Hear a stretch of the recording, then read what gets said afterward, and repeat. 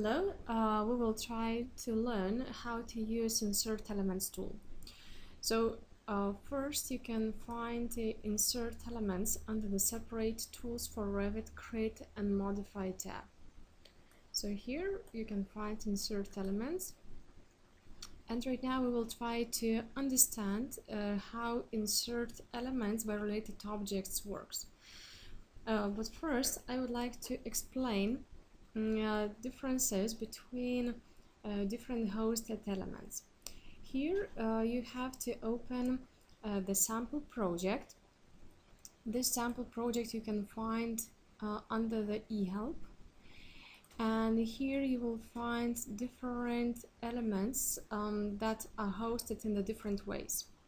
For example, uh, here we have point-based elements like a table and, and a lamp. Uh, then we have two wall-based um, uh, families. Um, it's a double switch and uh, here we have radiator. Uh, then ceiling-based family. Uh, then line-based family and uh, a face-based family. So uh, this, those families are just the sample families for better understanding how the tool works, but actually you can, instead of them, you can use any kind of your own created families. So right now let's uh, start with um, adding um, very simple point-based families. First, I will draw a model. Uh, I will take just regular wall and we will create some shape of the walls.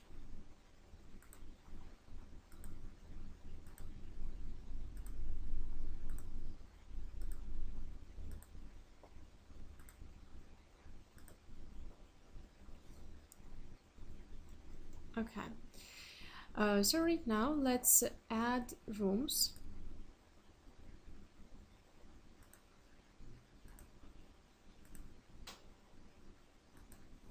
okay. And uh, the first task would be to insert um, tables into um, such rooms automatically. So what I'm going to do uh, right now uh, first actually let's check uh, it would be actually recommended to check the height of the rooms. And um, actually the rooms has to be created from the level to the level uh, according to the BIM standard so that should be the rule. So right now I will filter the rooms and I'm saying that uh, upper limit of my rooms is level 2. Right now I'm working on level 1 and right now I'm sure that my rooms they're going from level 1 to level 2 and I'm trying to distribute those furnitures in uh, into such rooms. Um, actually, I can be on any view I want. Uh, I can be on the plan view at the same time I can be on the 3D view. It doesn't matter. Right now, let's go into insert elements and we will use insert elements by related objects. So right now we will uh, insert tables into the rooms that are created in the model. Let's go into insert elements.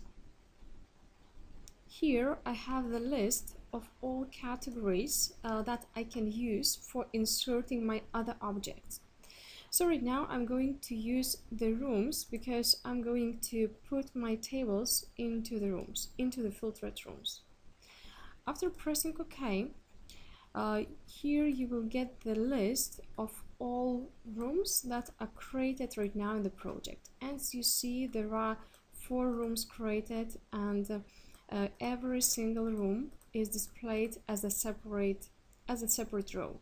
So you can go on each other row and you can see and you can select uh, those uh, elements and you can see that selection in the project. So here you will understand where where you are going to insert those tables. Uh, right now um, all those tables and actually there are three uh, three columns like level room name and again the room name.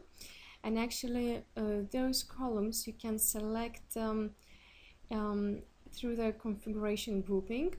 Uh, so here uh, we can go into configuration and here you can look into parameters uh, that are created additionally. And here you can say that you would like to look into the level and the room name or maybe department or the category or any other parameter. Actually right now the level and the room name is enough. I don't need to use any more uh, parameters for grouping and for filtering. So those two parameters they will be displayed as the hello columns uh, additional parameters that you, you want to use you can select with the select parameters. In the left side you will get the list of all available parameters and in the right side you can pick the ones you want. So it could be um, area um, and perimeter maybe the room number for example the volume and, and so on. And after pressing ok you will get the list of those parameters now those parameters can be used in filtering and in finding the rooms you want because the tables can be inserted not into the in not into all the rooms. So you can filter and you can select the rooms you want press with the right click and you can filter by selected data. So in such case the tables will be inserted into those two rooms. And that's it again if you want to come back you can press on project name and here you will get again the list of all the rooms that are created in the project so if it's needed to make a filter, you can click on the value, go with the right click, and here uh, you can find possibility to filter by selected data. Right now, uh, we are going to insert our tables into all the rooms. So right now I have the list of all the rooms in my dialog, so everything is okay here. And right now I'm going into the second tab and with the second tab I'm going to say what kind of element I would like to distribute. So here you will get the list of all elements that are loaded into your project.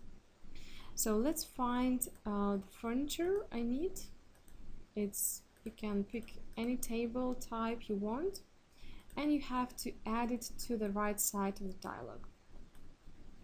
So as you see here, this is a point-based element so here you can check uh, the host of uh, the family so it's really a point-based object and the tool just for better understanding and for checking that this is really point-based family you can see the value here and the tool gives you a rule uh, and the tool says right now that the element uh, will be placed on the level uh, to the room location point. Uh, here, if it's needed, you can modify additional parameters. But right now, everything is okay. We don't need to change them additionally. So that's it. After making such configuration, you can press Insert a Model, and there are four elements inserted. So after pressing OK, we can check that in our project. I'm going into the 3D view and here I can see that the tables are really added into every into each every room. Um, I'm, I'm coming back again into the plan view. So as you see here, when I select the room, so this is the room location point. So exactly the table is inserted into that uh, room location point.